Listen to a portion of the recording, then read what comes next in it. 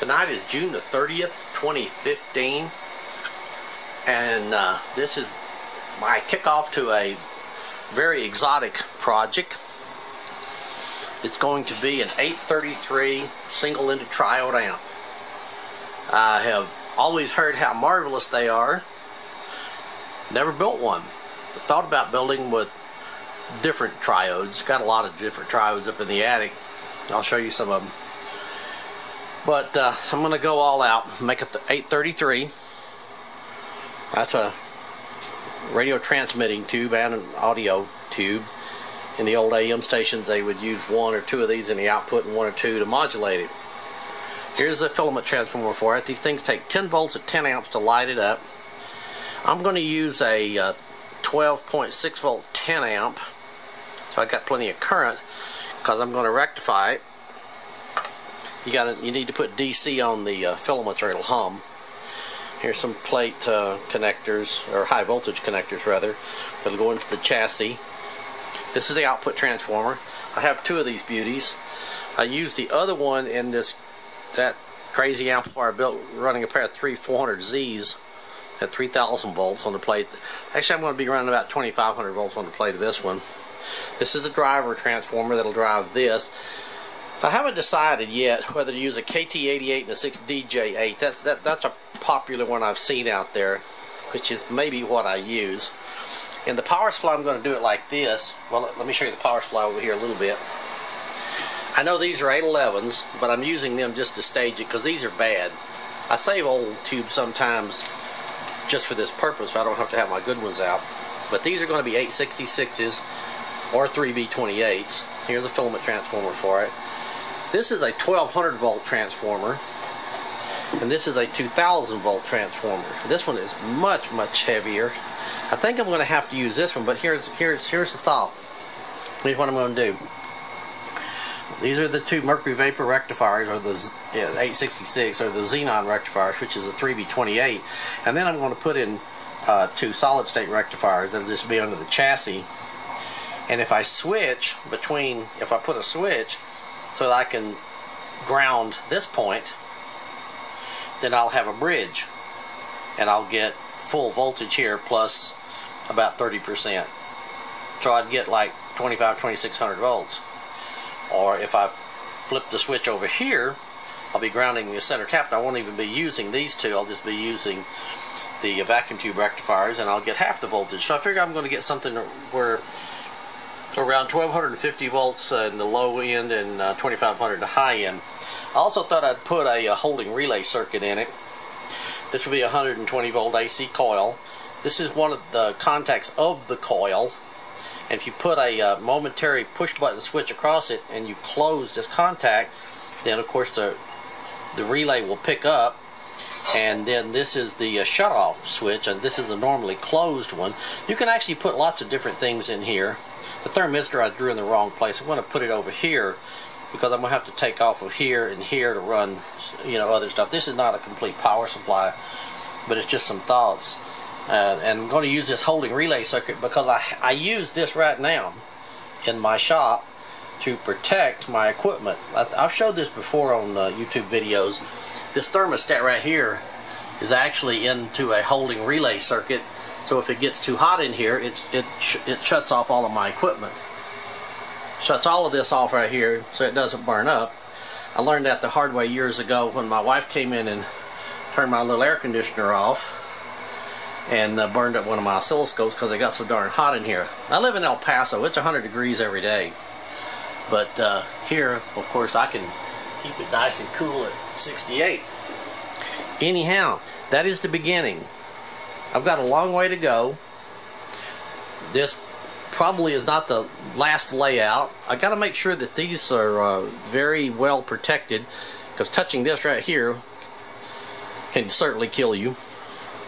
Well actually this is the plate over here. You can see it is. This is the grid. Two filament pins are down here.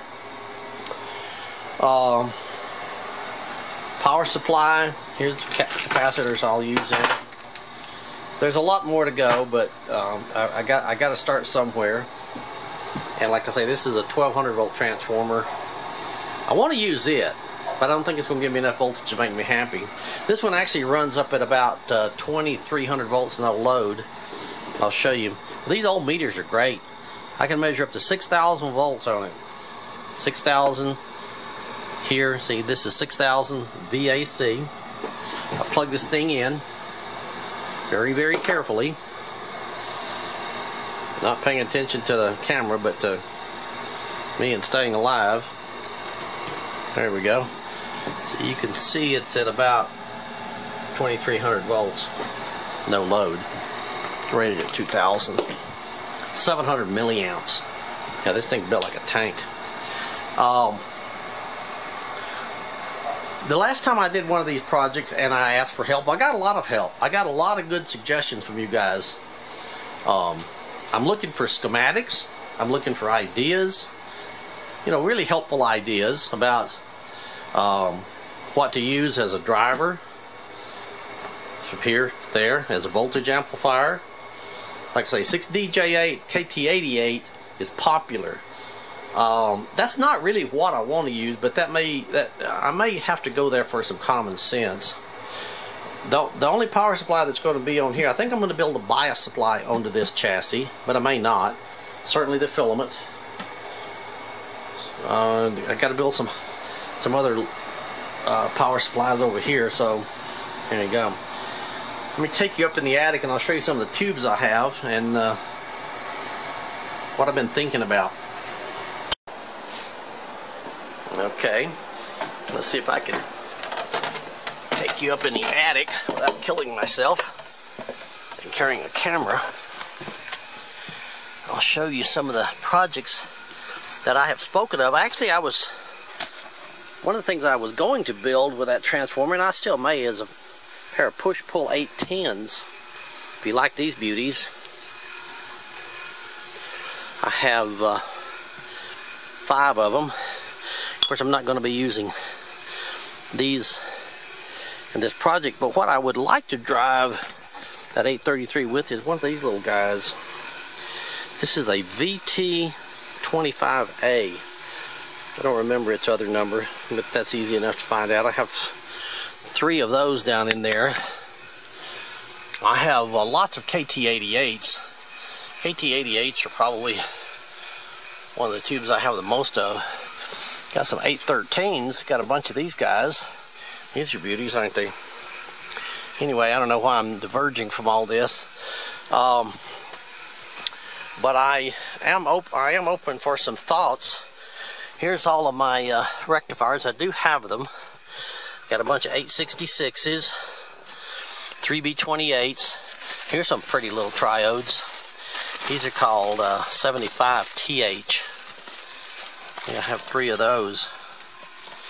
These these other two over here. Got a lot of got a lot of triodes. But I'm not going to build anything out of those yet. These things run 3,000 volts on the plate, so they're no wimp. Um, I think I've shown this one before. This is a I'm going to build an RF amplifier out of this guy right here. This is a 31000Z. I love this thing. Isn't that a beauty?